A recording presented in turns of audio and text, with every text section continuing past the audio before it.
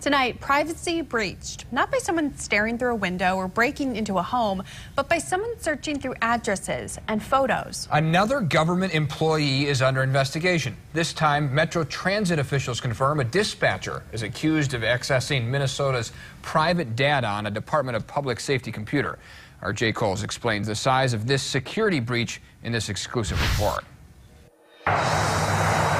Somewhere inside the halls of Metro Transit, there's an accused snoop.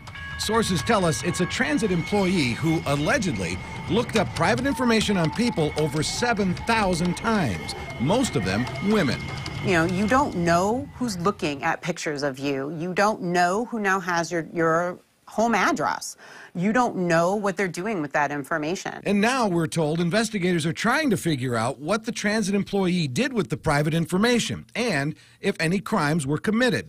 Raina Alexander is an attorney who works with abused women. And when you have somebody who's had their information accessed a number of times, you know, 500, 600 times by, say, the same police department, then you really begin to wonder, what are you looking at? Alexander says someone looked up the driver's license information of two women she knows hundreds of times. Both, she says, feel very threatened. Somebody was actually looking at her driver's license at 3 o'clock in the morning.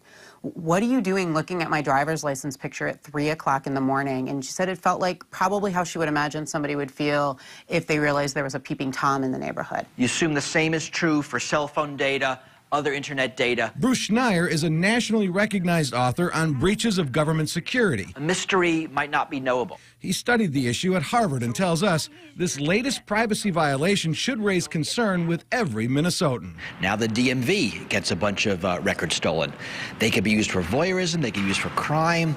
They basically affect our privacy and we don't know what's happening. Never again. Schneier says the public needs to demand better government protection of our private data and more accountability. When something weird like that happens, there should be someone who notices and follows up. That's how you deal with those threats.